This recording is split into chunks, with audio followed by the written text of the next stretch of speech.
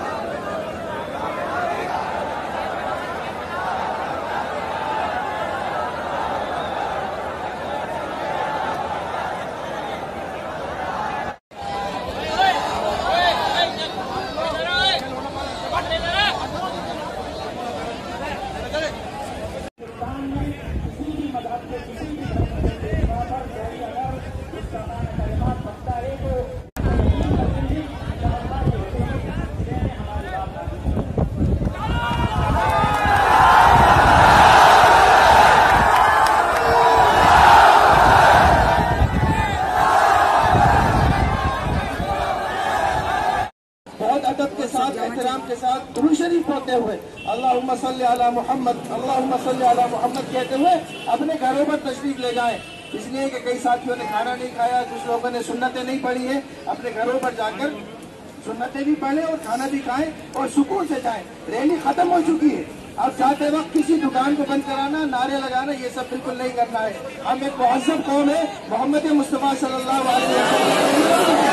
हम बहुत सिस्टमेटिक चलते हैं, बहुत हमारे दरमियान अदब आदाब है लिहाजा घर अपने तशरीफ़ ले जाए लाइन से लेके जाए, लाइन बना ले तरतीब बना ले।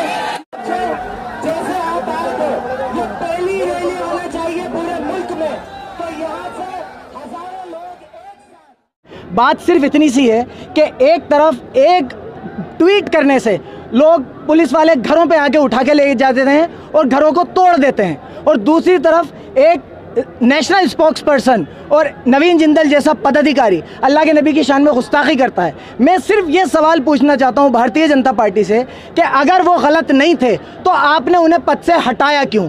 और अगर वो गलत थे और आपने पद से हटाया है तो दिल्ली पुलिस अभी तक उनकी गिरफ्तारी क्यों नहीं कर रही? कानपुर में एक तरफा कार्रवाई हो रही है, मुसलमानों को उठा उठा के लेके जा रहा है, लेकिन नुपुर शर्मा को सिक्योरिटी दी जा रही है। पूरे देश में भारत को बेइज्जत कराने वाले ये दो लोग जिनकी वजह से उपराष्ट्रपति का डिनर कैंसिल हुआ। और कतर ने ये कहा कि खाली डिनर कैंसिल नहीं है यह मैसेज है कि हम अब अपने नबी की शान में गुस्ताखी बर्दाश्त नहीं करेंगे। ऐसे मुल्क को बेइज्जत कराने वाले लोगों को अभी तक गिरफ़्तार नहीं किया गया। उल्टा उन्हें सिक्योरिटी दे दी गई।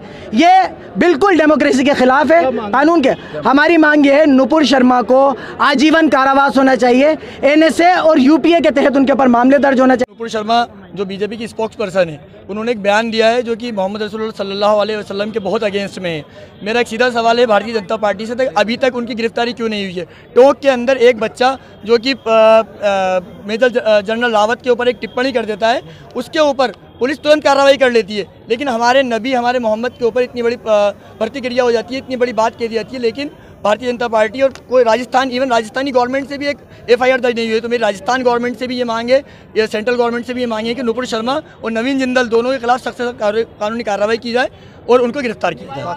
ये जो अल्लाह के रसूल की शान में गुस्ताखी हुई है, नुपुर शर्मा ने जो गुस्ताखी की है और जिन जिन लोगों ने गुस्ताखी की है उसके ख़िलाफ़ सख्त से सख्त कार्रवाई की अपील के लिए ये मुसलमान यहाँ जमा हैं, हम लोग सब हाजिर हुए हैं।